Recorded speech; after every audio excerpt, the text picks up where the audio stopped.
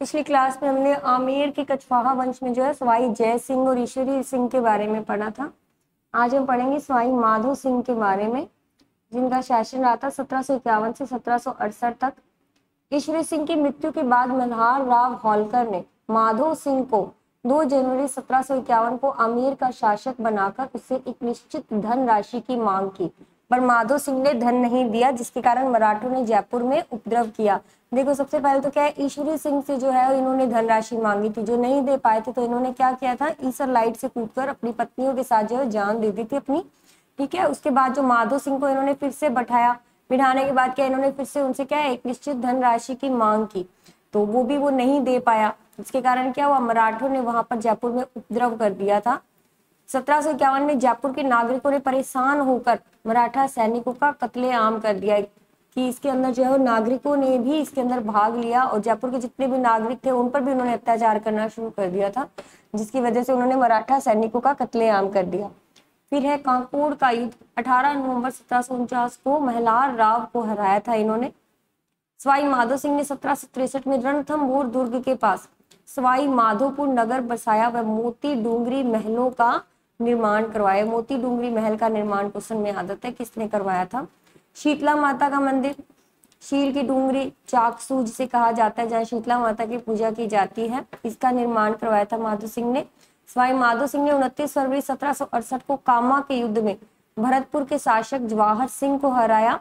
माधो सिंह का यह क्या था? अंतिम युद्ध था। अंतिम युद्ध कौन सा था? इनका कामा का युद्ध। 15 मार्च सत्रह को माधो सिंह ने मालवा में मृत्यु हो गई और माधो सिंह का एक सात फीट लंबा व चार फीट चौड़ा कुर्ता व पैजामा सिटी पैलेस में रखा हुआ है। इसका मतलब हाइट इनकी बहुत ज़्यादा थी, बहुत लंबे चौड़े थे। देखो इनका कुर्ता जो मिला है वो कितना लंबा है, सात फीट लंबा और चार फीट चौड़ा है। फिर आ जाएँगे पृथ्वी सिंह कछवाहा द्वितीय जिनका सत्रह से सत्रह तक जो इनका शासन रहा था। उसके बाद आए प्रताप सिंह। पिता थे, इनके माधो सिंह प्रथम। इन्हें मराठों के सर्वाधिक आक्रमणों का सामना करना पड़ा था। कुछ समय के लिए तो ये शांत हो गए थे, क्योंकि माधो सिंह ने एक बार जो है मल्हार होलकर को जो है वो हरा दिया था, लेकिन बाद में है मराठों के सर्वाधिक आक्रमण जो हुए थे इसके समय, प्रताप के समय, जिसमें हुआ तुंगा का युद्ध, अट्ठाईस जुलाई सत्रह ईस्वी में तुंगा, दोसा नामक स्थान पर महाद जी सिंधिया, जो मराठा थे वह सवाई प्रताप सिंह के बीच में युद्ध हुआ और इस युद्ध में प्रताप सिंह क्या होते हैं, जीत जाते हैं। फिर हुआ पाटन में सिक्कर का युद्ध 20 जून 1790 ईस्वी को इस युद्ध में डी बॉइन फ्रांसीसी नेता थे, सेनापति, में मराठों का नेतृत्व किया। इन्होंने मराठों के नेतृत्व किया तथा अफगान नेता इस्माइल बेग जो है, प्रताप सिंह के साथ था। अफगान का नेता तो इनके साथ था, प्रताप के साथ था और फ्रांसीसी नेता डी बॉइन जो थे, वो मराठों के साथ थे और इस युद्ध में जयपुर की सेना की बुरी तरह जो है, वो पराजित हुए। फरवरी सत्रह सौ अठानवे अंग्रेज़ सेनापति जॉर्ज थॉम्स का जयपुर पर आक्रमण हुआ। फिर मालपुरा का युद्ध अठारह सौ ईस्वी में सवाई। प्रताप सिंह जो है, मराठा संधि से परेशान हो गया था। उसे प्रतिवर्ष लाखों रुपए मराठों को देने पड़ते थे। इसी वजह से क्या किया था? प्रताप सिंह जोधपुर के शासक भीम सिंह से सहायता लेकर आक्रमण की तैयारी करने लगा। इसका पता चलने पर क्या किया? मराठों ने फिर से आक्रमण कर दिया। जैसे ही उन्हें पता चला कि वो तैयारी कर रहे हैं तो उन्होंने क्या किया? फिर से उन पर जो युद्ध कर दिया आक्रमण कर दिया, जो कि कौन सा युद्ध था? मालपुरा का युद्ध कहलाया। 16 अप्रैल 1800 ईस्वी को मालपुरा में भीषण युद्ध हुआ, जिसमें प्रताप सिंह की क्या हो गई? हार हो गई और इन्होंने फिर से उनके साथ क्या कर लिया? समझौता कर लिया। और 1803 में जो है परेशान होकर इनकी मृत्यु हो गई थी लास्ट में प्रताप सिंह की। हवा महल का निर्माण जो सत्रह सौ निन्यानवे ईस्वी में करवाया, और यह महल भगवान श्री कृष्ण के। मुकुट के समान आकृति वाले इस महल का वास्तुकार कौन थे? उस्ताद लालचंद थे। नाम इनका भी आ सकता है और प्रताप का भी आ सकता है। दोनों का ही आ सकता है कि किसने जो है, हवा महल का निर्माण करवाया था। और किसने जो है वो इसकी वास्तुकार कौन थे? उस्ताद लालचंद थे।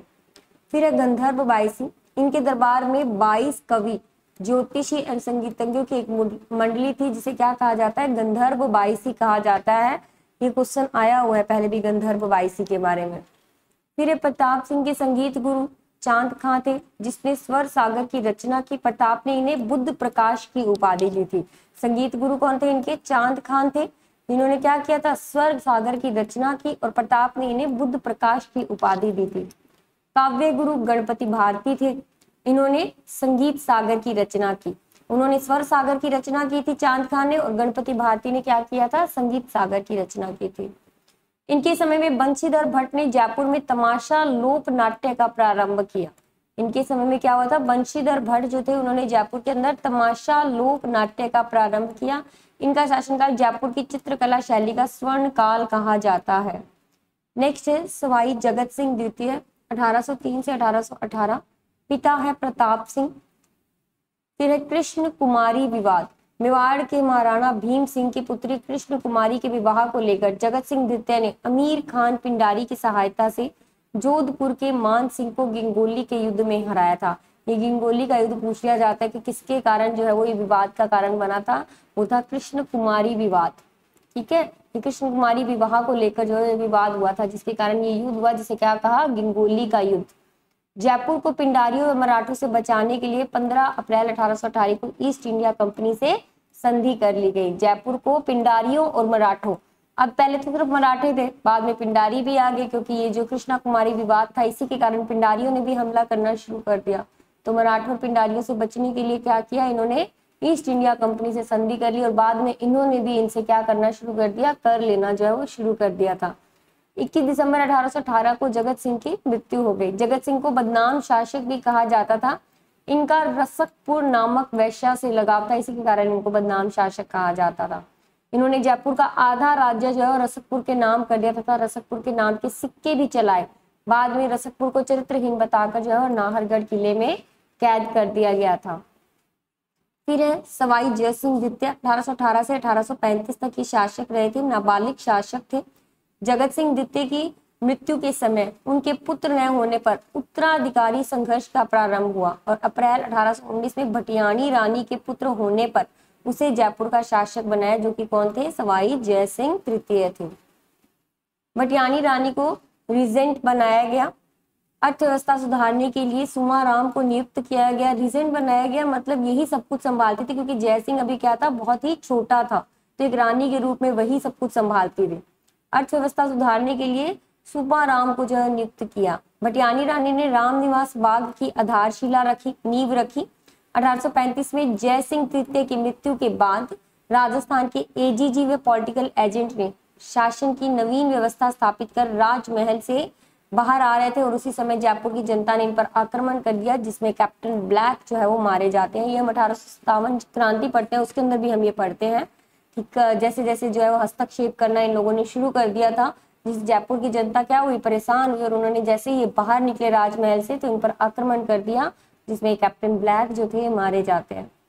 फिर ये सवाई राम सिंह द्वितीय 1835 से 1880 ईस्वी तक इनका शासन था। पिता जय सिंह तृतीय थे। अब देखो, एक तरह से तो क्या है, यहाँ पर इनका शासन जो था ना, वो खत्म हो जाता है। ठीक है? लेकिन सवाई जय सिंह तृतीय थे, ये भी क्या थे, एक तरह के दत्तक पुत्री थे। इनके ओरिजिनल वो तो थे नहीं, जो पहले राजा थे। बाद में सारे के सारे इसी तरह से आएँगे। जय सिंह तृतीय राम सिंह के नाबालिग होने के कारण प्रारंभ में शासन संचालन के लिए मेजर जॉन डूडलो की अध्यक्षता में रीजेंस काउंसिल का गठन किया गया। पहले तो जैसे रानी को बनाया गया था भटियानी को।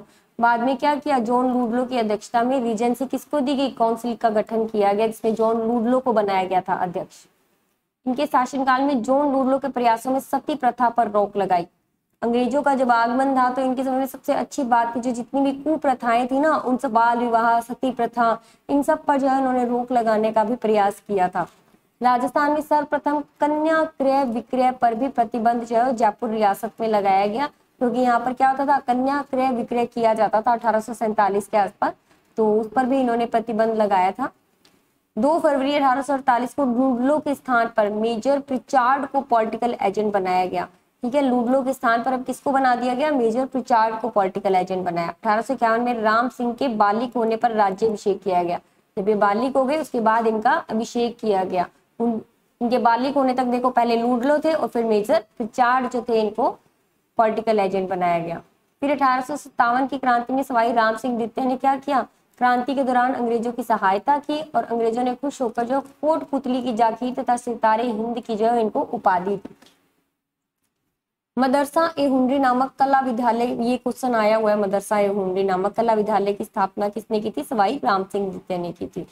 बाद में इसका नाम राजस्थान स्कूल ऑफ़ आर्ट्स कर दिया गया। ब्रिटिश सम्राट प्रिंस ऑफ़ वेल्स के अनुसार, वेल्स के जयपुर आगमन पर, अठारह ईस्वी में जयपुर को गेरुआ रंग, यानी कि गुलाबी रंग से जो है वो रंगा गया। British smart prince of Wales के जयपुर आगमन पर। अठारह में जयपुर को कौन से रंग से रंगा गया? गेरुआ रंग, यानी कि गुलाबी रंग से जो रंगा गया। और ब्रिटिश पत्रकार स्टेनली रीड ने अपनी पुस्तक the royal town of India में पहली बार जयपुर के लिए पिंक सिटी शब्द का प्रयोग किया। है बहुत ही इंपॉर्टेंट लाइन है कि किस पत्रकार ने जो अपनी पुस्तक में पहली बार जयपुर के लिए पिंक सिटी शब्द का प्रयोग किया? The royal of, royal town of India. ठीक है, और लिखी किसने थी ये? स्टेनली रीड जो थे वो पत्रकार थे। उन्होंने इसके लिए पिंक सिटी शब्द का प्रयोग किया। स्मार्ट एडवर्ड पंचम ने जयपुर को क्या कहा? गोल्डन बर्ड कहा। ये पूछ लेते हैं कई बार कि गोल्डन बर्ड किसने कहा है जयपुर को या पिंक सिटी किसने नाम दिया? ठीक है? फिर है रामनिवास बाग 1868 ईस्वी में अकाल राहत कार्यों में चार लाख की लागत की लागत से निर्माण करवाया गया था और Albert hot prince of Wales की फरवरी 1876 में जयपुर यात्रा की स्मृति में राम निवास बाग में अल्बर्ट हॉल का निर्माण कराया। अल्बर्ट हॉल का भी पूछ लिया जाता है। ठीक है कि किसकी स्मृति में जो है इसको बनाया गया था? तो प्रिंस ऑफ़ वेल्स 1878 में राम प्रकाश थिएटर की स्थापना की गई और ये राजस्थान का प्रथम फारसी थिएटर था। इनके काल में रामगढ़ बाँध का निर्माण हुआ। Maharaja college, Sanskrit college, medical college की स्थापना की गई और संस्कृत कॉलेज के प्रसिद्ध आचार्य पर आचार्यों के कारण जयपुर दूसरी काशी कहलाता है। ठीक है? संस्कृत कॉलेज के प्रसिद्ध आचार्यों के कारण जयपुर जो है वो दूसरी काशी कहलाता है। इनके समय में राजकीय परिषद का भी गठन हुआ और इनकी मृत्यु कब हुई थी? 1880 में हुई और नी संतान थे। ठीक है? इनकी कोई भी संतान नहीं थी। फिर माधो सिंह द्वितीय 1880 से 1922 राम सिंह द्वितीय की नी संतान मृत्यु होने पर उनका दत्तक पुत्र गोद लिया हुआ पुत्र जो है माधो सिंह द्वितीय जयपुर का शासक बना, जो ईसरदा के ठाकुर का पुत्र था और वास्तविक नाम था कायम सिंह, इसका वास्तविक नाम पहले भी पूछा गया सीरीज़ के अंदर। माधो सिंह द्वितीय का वास्तविक नाम क्या था? वो था कायम सिंह। 1902 में जो है वो प्रिंस अल्बर्ट एडवर्ड सप्तम के नाम से गद्दी पर बैठा था माधो सिंह द्वितीय। इस समारोह में भाग लेने कहाँ गए थे? इंग्लैंड गए थे। इंग्लैंड गए तो वहाँ पर क्या है? इनको पानी जो है वहाँ का सूट नहीं करे इस वजह से यहाँ यहीं से क्या करके लेकर गए थे? गंगा जल भरवा कर लेकर गए थे दो चांदी के बड़े पात्रों के अंदर। बहुत बड़े बड़े पात्र हैं जो विश्व के सबसे बड़े चांदी के पात्र कहलाते हैं। तो इंग्लैंड के पानी को अशुद्ध समझकर क्या किया? भारत से ही दो चांदी के बड़े पात्र लेकर गए थे, जिनमें क्या भरवाया? गंगा जल भरवाया, जो कि विश्व के सबसे बड़े चांदी के पात्र हैं, जो कि वर्तमान में दीवाने खास हॉल में, जो कि सिटी पैलेस बना हुआ है जयपुर के अंदर, उसके अंदर रखे गए हैं। ये क्वेश्चन पूछा हुआ है पहले भी। बनारस हिंदू विश्वविद्यालय के निर्माण हेतु मदन मोहन मालवीय को पाँच लाख रुपए का चंदा भी दिया था। और इन्होंने नाहरगढ़ में अपनी नौ प्रेमिकाओं के लिए एक जैसे नौ महलों का निर्माण करवाया था। सिटी पैलेस जयपुर में राजपूत मुगल व यूरोपीय शैली में 1900 में मुबारक महल का निर्माण करवाया। डाक टिकट और पोस्ट कार्ड की शुरुआत भी सर्वप्रथम माधव सिंह द्वितीय के शासनकाल में ही हुई थी। इन्होंने अपना अधिकांश समय रोडपुरा के ख्वास खान के महलों में बिताया। नेक्स्ट है सवाई मानसिंह द्वितीय 1922 से 1949 जन्म इनका इसरदा माधोपुर में हुआ था। सवाई माधोपुर में ठिकाने में क्या है?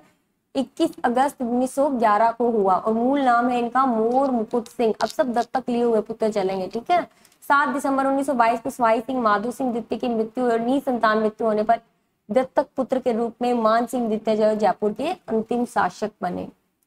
ये पोलो के प्रसिद्ध खिलाड़ी थे। 1933 में टीम लेकर कहा गए? विदेश गए। जयपुर में नगर पालिका की स्थापना भी इन्हीं के द्वारा की गई थी। 1869 में हुई थी, परंतु कानूनी अधिकार कब दिया गया? 1938 में दिया गया। इनके द्वारा स्थापित की गई घुड़सवार सेना, मान गार्ड ने द्वितीय विश्व युद्ध में बर्मा, साइप्रस, इटली आदि की तरफ़ से भाग लिया था। घुड़सवार सेना का नाम पूछ लिया जाता है मान गार्ड। मिर्ज़ा इस्माइल इनके प्रधानमंत्री थे। इन्हें आधुनिक जयपुर शहर का निर्माता कहा जाता है। इनकी याद में जयपुर में A M A M I road है। इनके शासनकाल में कृषि विभाग रेवेन्यू बोर्ड पंचायत कानून में बनाया गया। इन्होंने महारानी गायत्री देवी के निवास हेतु तो मोती डूंगरी पर तख्त ए शाही महलों का भी निर्माण करवाया गया। निवास हेतु बनाया गया था ये। फिर जयपुर के एकीकरण के दौरान जो है तीस मार्च 1949 को जो है वो जयपुर रियासत का राजस्थान में विलय हो गया और इन्हें बृहद राजस्थान का राज प्रमुख जो है वो उस समय बनाया गया। राज प्रमुख का पद समाप्त होने पर इन्हें कहा गया, स्पेन जो है राजदूत बनाकर भेज दिया और वहीं पर क्या है, पोलो खेलते जो है घोड़े पर घोड़े से गिरने पर इनकी मृत्यु हो जाती है। नेक्स्ट क्लास में हम करेंगे मारवाड़ का राठौड़ राजवंश।